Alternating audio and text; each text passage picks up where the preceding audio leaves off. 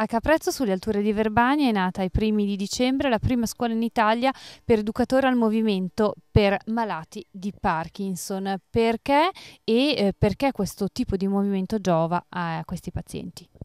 Il problema del Parkinson è legato al movimento, all'incapacità di, di, potersi muovere eh, coerentemente e correttamente. Quindi tutti i nuovi studi eh, impongono, oltre alle medicine, anche un grosso movimento per stimolare appunto la produzione di dopamina. Eh, questo movimento deve però essere fatto anche in modo corretto e, e continuativamente perché il, il, problema di questa malattia è proprio il fatto che man mano che va avanti continua a peggiorare.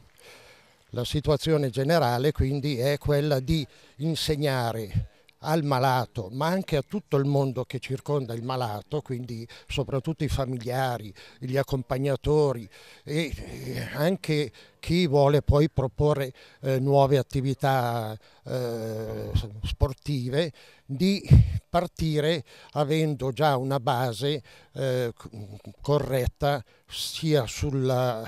eh, la camminata che la postura, la respirazione e anche i metodi di rilassamento. Questa scuola è riconosciuta da tutte le associazioni nazionali che si occupano di malattie di Parkinson e quindi è rivolta sia a futuri eh, diciamo, tecnici per questo tipo di attività, sia, come diceva prima, alle famiglie è indirizzata a chi vorrà diventare formatore, cioè l'educatore vero e proprio che poi entrerà nelle varie associazioni, si sposterà nei, nei vari luoghi per insegnare ad altri, mentre invece eh, nelle varie associazioni in giro per l'Italia andremo a proporre serate e seminari.